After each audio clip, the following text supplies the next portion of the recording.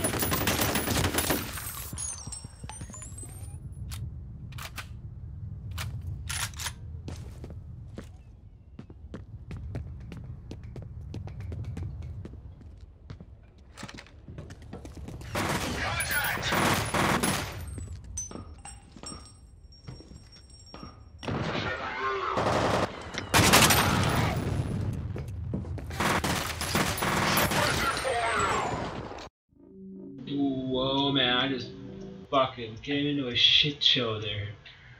Fucking the Three Musketeers was all fucking hiding.